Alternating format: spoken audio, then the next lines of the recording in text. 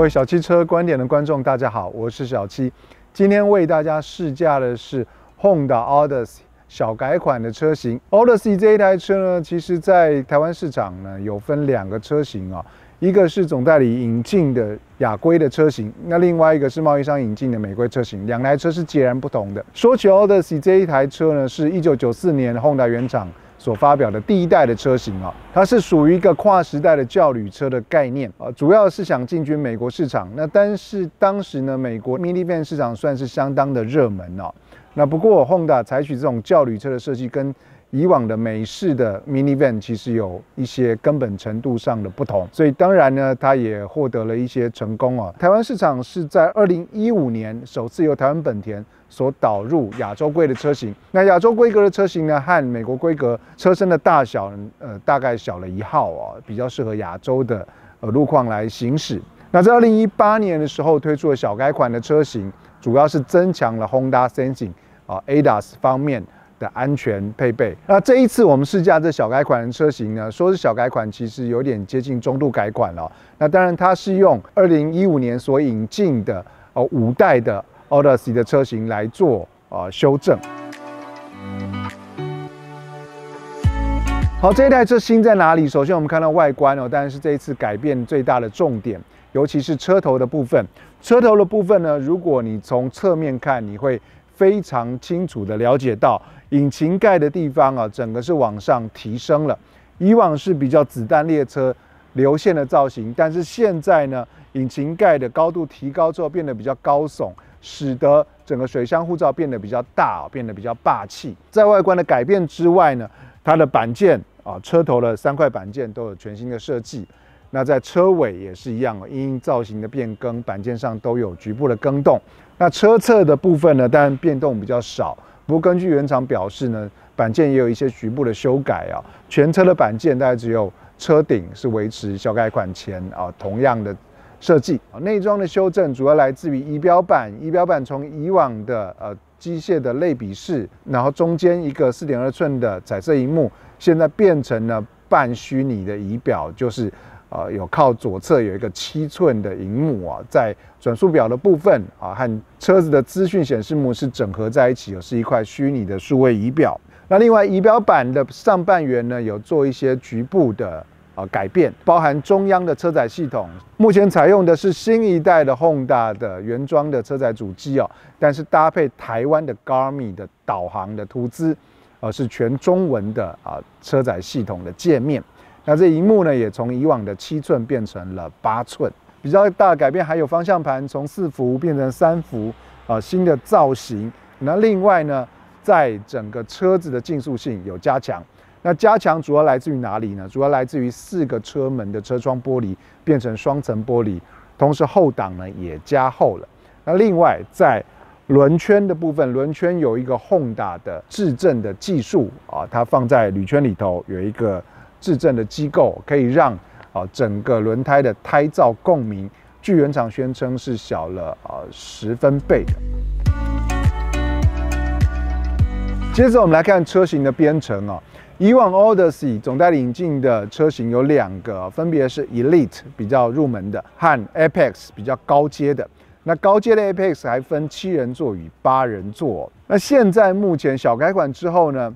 因为全车系都已经标配了 Honda Sensing，所以以往的 Elite 车型已经取消了哦，所以在 Apex 车型它会衍生出啊，分别是卓越版以及登峰版。那比较高阶的登峰版呢，它一样有七人座与八人座啊两个不一样的车型。那售价的话，分别是一百七十七点九万以及一百七十九点九万哦。那以顶规的七人座登峰版的价钱来说的话，跟以往的 Apex 七人座来说的话，是涨价了十万块啊，但是配备上面呢，啊，它主要是多了除了 LED 的序列方向灯，车载系统从七寸变成八寸，然后增加了 Apple CarPlay 以及 Android Auto，还有 Garmin 的卫星导航图资，那另外也多了啊脚踢感应的电动尾门，但是在卓越版的部分啊，和以往的 A Pace 比较起来的话，售价是略微调降成一百六十二点九万啊。但是它也少了一些东西，大家可以参照附表。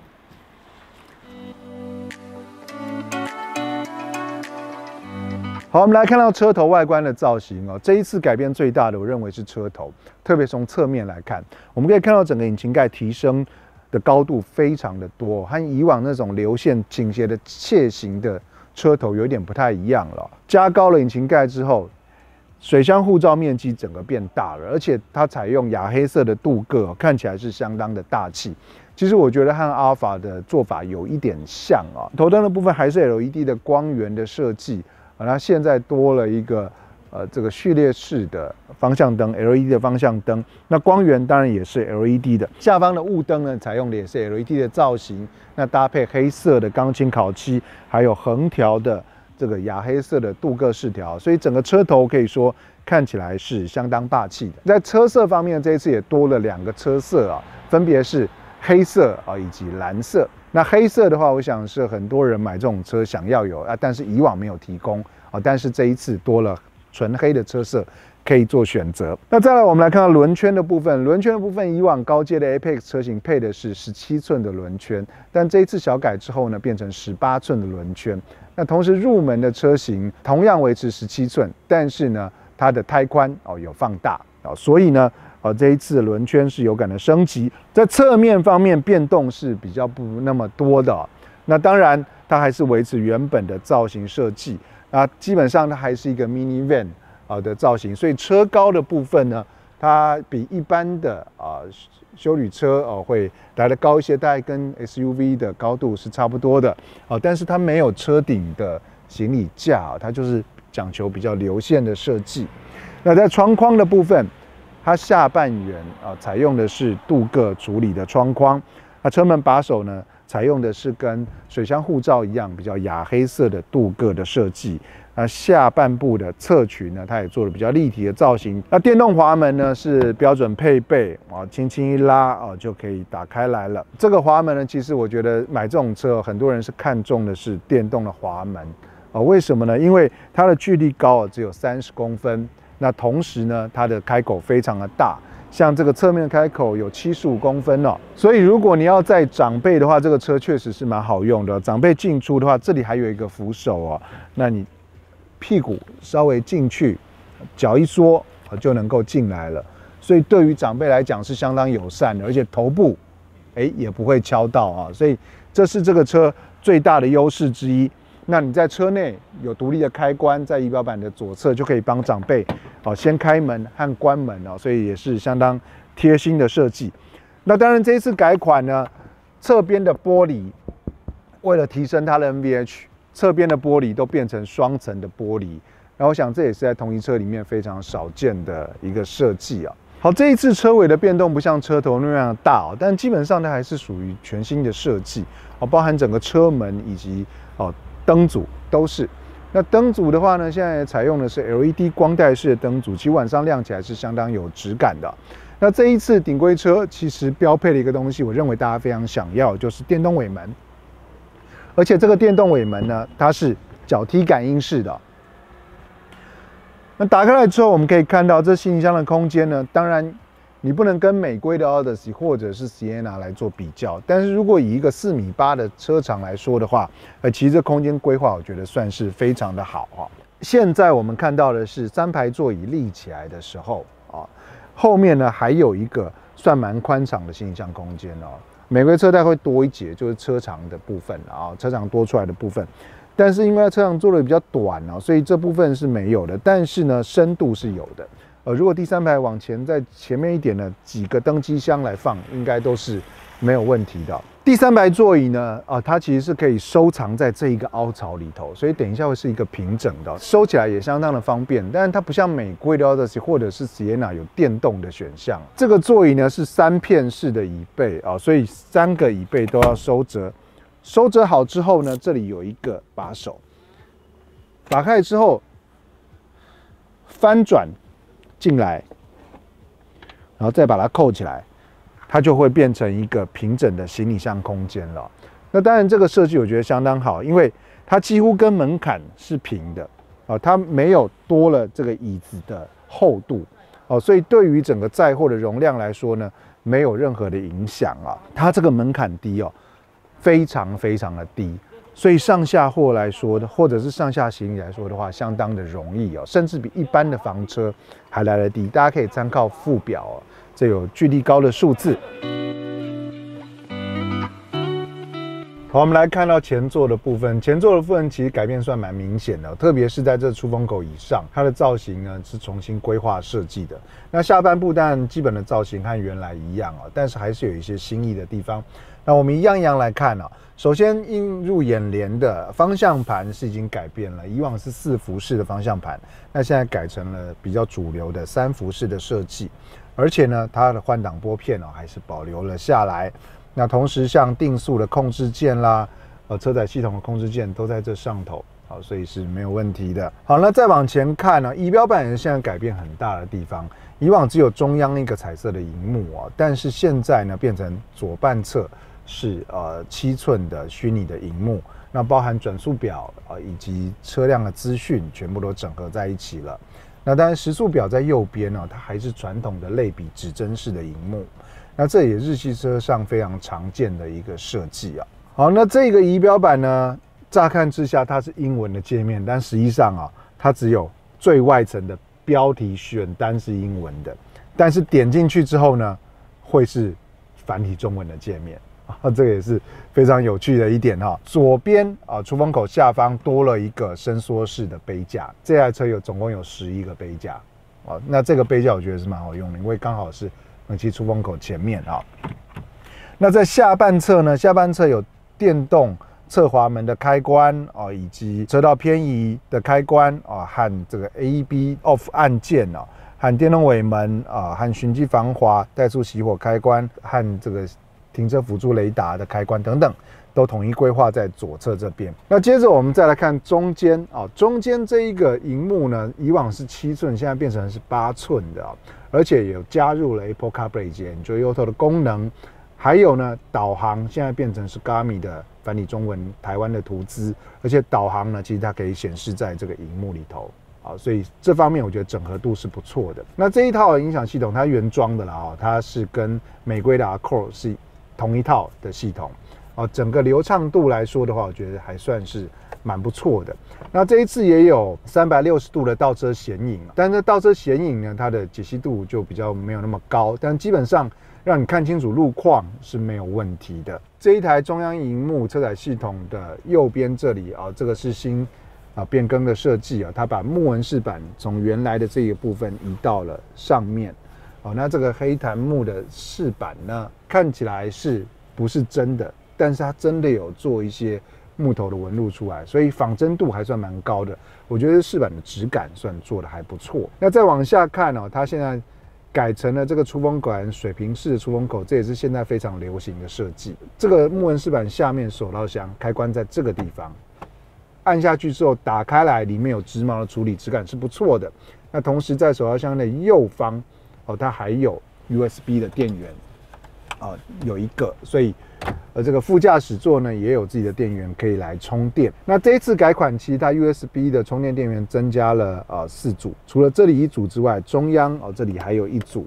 那下半部基本上是维持原来的造型，但是原来有这一块哦，手手指的这一块呢，这个是木纹饰板的位置，但是它现在改成了软质塑料啊来做批复。那木纹饰板是上提，刚刚有。说明过了。那另外呢，在下半圆它还是采用钢琴烤漆的处理啊，所以整个内装质感来说的话，我认为呈现啊，以它的价位来说的，算算是恰如其分了啊。那实用性的机能，我觉得还是算蛮强的，特别是置物的空间啊，包含这一个原本就有的空间。那这个空间呢，它还可以往上再移哦，做移动。那同时呢，下方也有两个隐藏式的杯架啊，所以呃，实用性是不错的。那以往中央走道的部分，现在多增加了一个 Central Console。那这个 Console 的话，呃，是有滑帘的，里面可以储物啊。那另外呢，也有中央的呃扶手啊，都是独立的扶手。那我觉得扶手的效果是相当好的，比固定式的啊更来的啊更贴切好用。驾驶座的话是全向的电动座椅哦，但是没有记忆的装置哦，这一点稍微可惜一点。那副驾的话是手动的座椅，基本上我认为这个价位如果呃可以有驾驶座的电动记忆座椅啊，再加上副驾的基本的调整，前后呃椅背倾斜的四项调整的电动座椅的话，应该会比较符合它的价位的需求哈。其实改变最大的呢是它的玻璃的部分，其实玻璃一降下来就可以看到是双层的玻璃。好，所以这个对于隔音，我想应该是有很正面的帮助。好，接着我们来看第二排。第二排我觉得是奥德斯哦，全车里面最舒服的一个位置。这两张椅子调整机能也非常的强，其实和小改款之前是一样的啊。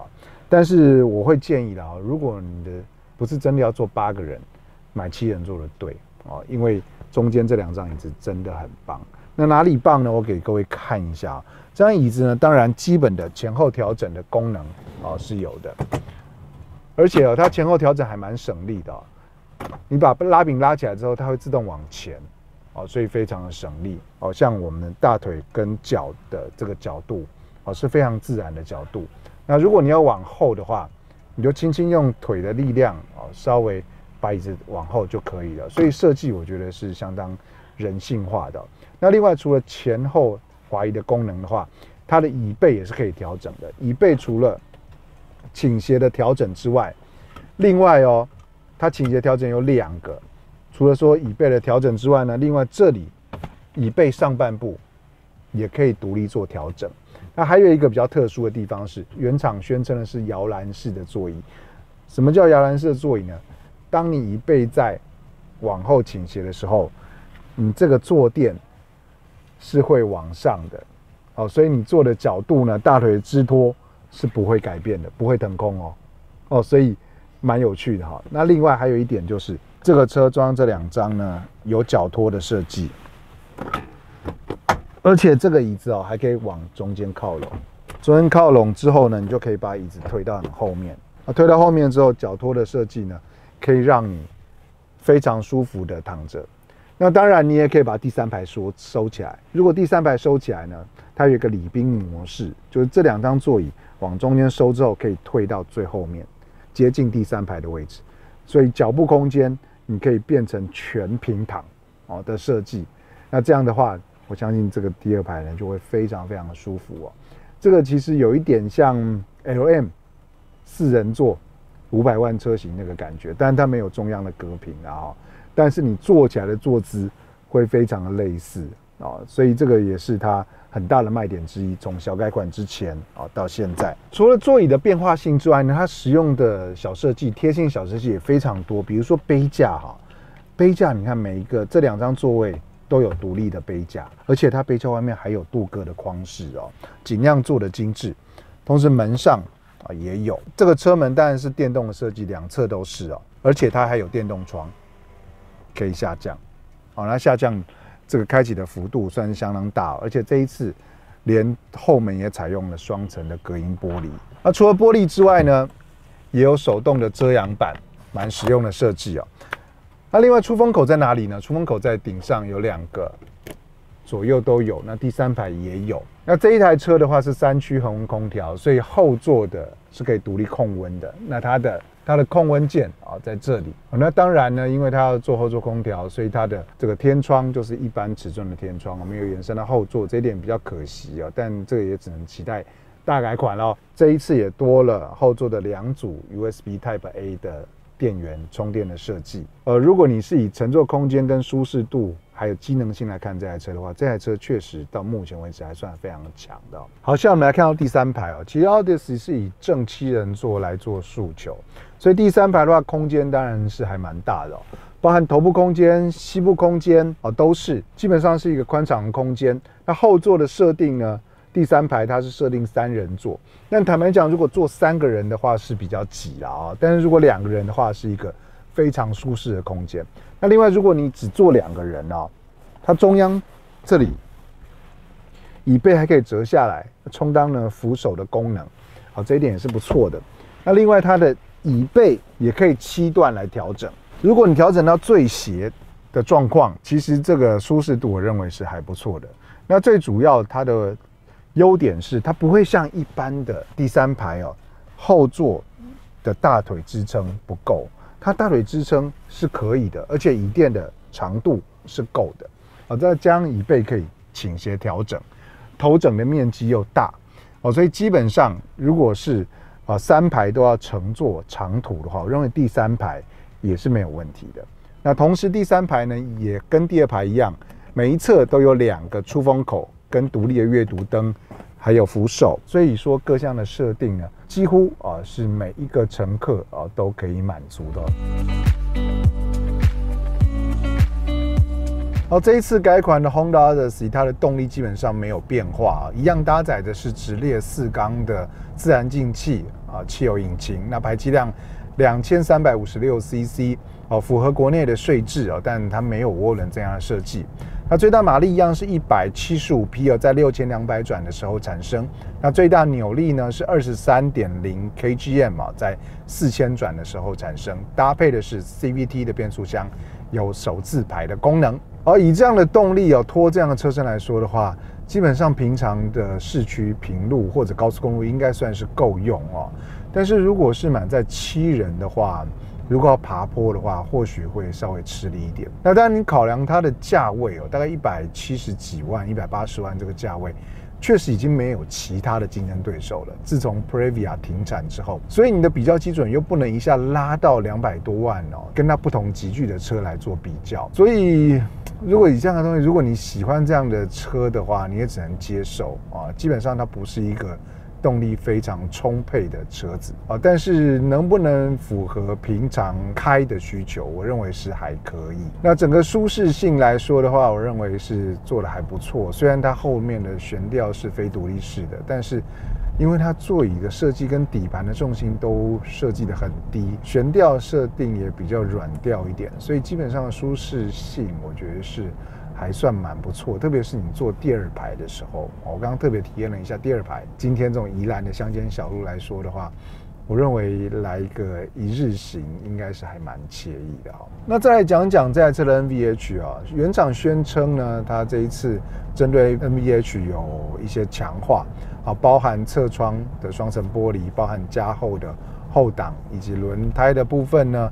在轮圈里头，它用了 Honda 专利的制证的一个机构，那我们可以感觉开起来的确哈，如果像我们把速度提升到大概七八十来看的话，诶，胎噪的确是明显降低的哦，这一点我觉得是可以肯定的。跟外界的隔音来说的话，我觉得做的也算是还不错的。操控性来说的话，如果以 MPV 的产品来看的话，我认为操控的稳定性。还算不错，底盘的重心其实是低的，哦，所以稳定性是高的，就也不会太差了哦。就是如果在山路上、弯道上开的话，我认为是还算不错的一个操控性。好，最后来讲一讲什么样的人适合买这个车啊？这车我认为你有家里成员比较多的啊，大概你也只能考虑的只有这一款了。现在除了说纳智捷的 M7 之外，大概就是 Odyssey。所以如果说你对于对于车身世代有一点要求，对配备也还蛮要求的，那预算大概是在一百七八十万左右的话，我认为 Odyssey 就是你唯一的选择。那当然，这台车有没有缺点？当然也是有。那缺点是什么？我认为这个引擎动力上，基本上，你说它够用吗？也是大概真的是够用而已，就是平常开的时候够用。如果满载爬坡的话，确实还是稍微吃力一些些啊。啊，但这是相对性的问题，就是市场上没有这样子的车子了。那你要不要选择它呢？这个就是一反两瞪眼嘛。那当然买到 Sienna 那个等级，或者是 Alpha LM 那个等级，那是另外一群的消费者了。我觉得 Odyssey 算是一个比较一般的寿星阶级或一般的家庭，哦，稍微盯一下就可以啊买到的正七人座的修旅车。那同时你想要的，不管是 ADAS 哦宏达三井那全套给你。然后内装外观又做的诶有这个价位该有的质感哦，那像电动尾门啦、电动侧滑门，很丰富的座椅的变化性啊，这一些都有了。那当然缺点就是越卖越贵嘛，哈。那同时呢，它的动力啊，现在还是 N A 的二点四，还是稍微弱一些啦。那当然，以上就是我的实际上试驾感觉，提供给各位参考。那我是小七，我们下次见喽！别忘了订阅我们频道，拜拜。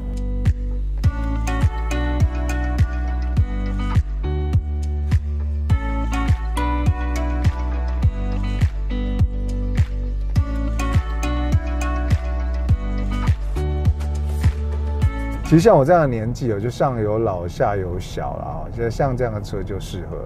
那我也其实蛮喜欢啊这样的 MPV，但现在目前的市场选择好少啊。你如果一百多万只剩 Audis 一个车子可以买，哎，所以应该大概没什么可以挑剔。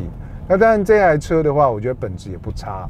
以这个价位来说，它给你的配备或质感、车身的大小、排气量、油耗等等，大概都是买这个价位的人可以负担的。哦，但是如果说要两百多万，那是另外一个等级的事情。所以你买 Sienna 的人不会来看这个啦，啊，是截然不同，车身大小、尺寸也差很多。那我觉得这个是一个，就是一般的平时的家庭、小康家庭，如果你需要这样一部车，很好的选择。如果是我的话，我会考虑的。大家好，我是小七。各位 Focus 以及酷咖的车友注意喽，我们的 Copilot 三六零虽然方便又安全，但你知道它还可以持续的升级和优化吗？由 Seven Car Shop 所独家研发制造贩售的 Copilot 三六零 Level Two Plus 研究升级系统已经上市喽，现在就上 Seven Car Shop 指名选购。有了 Level Two Plus，让我们的 Copilot 三六零更智慧。更安全、更方便哦。